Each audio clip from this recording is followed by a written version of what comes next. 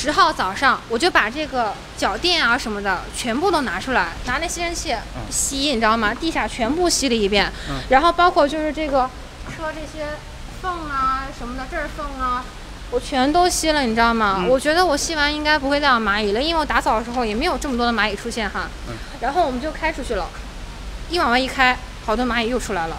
林女士提供了一段视频，天窗上有几只蚂蚁。她说九号提车那天就发现蚂蚁了，但没有想到有这么多。十一号，她把车开到杭州领辰领克 4S 店，对方使用了诱食剂，当时蚂蚁消失了，可开回家后蚂蚁又冒出来了。我想说看一看有没有死掉的蚂蚁，我就回头看了一下，然后车座子上面就好多蚂蚁，我当时头都麻了，你知道吗？我就去撵，去撵，去撵，然后弄到了这个纸上，然后就拍给他们看了看。我们不否认客户说的是假的，一定肯定是有这样的情况，他才拍了这个照片。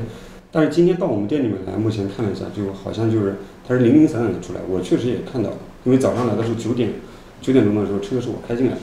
林女士提供的照片显示，纸巾上的蚂蚁有几十只。目前，这辆车停在 4S 店的技术车间，正等候检查。采访时，车身上、空调口、座椅上都出现了几只蚂蚁，个头比较小。车子是它不是说全密封的状态，那可能只有有一个，可能就是空调这一块的这个这个管道啊或者风道啊，这个可能有可能说它它会进来。即使拆掉空调滤芯，上面没有蚂蚁。这辆车的生产日期是今年七月二十一号从四川厂家运过来的。方经理介绍，七月二十七号到店后，车子一直停在户外停车场。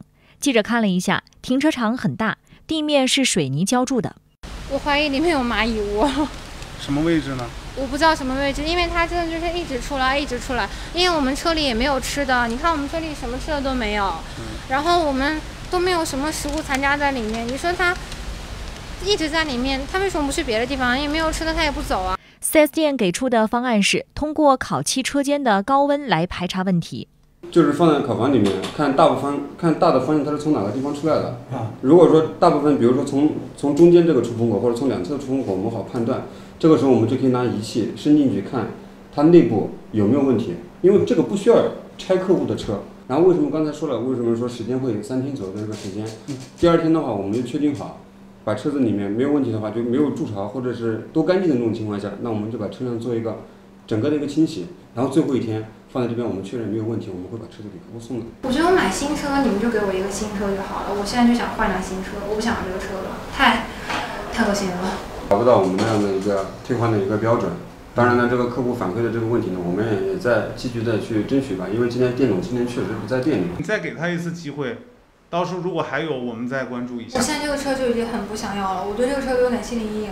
现场一番沟通后，最后林女士暂时接受了 4S 店的处理方案。幺八幺八黄金眼记者报道。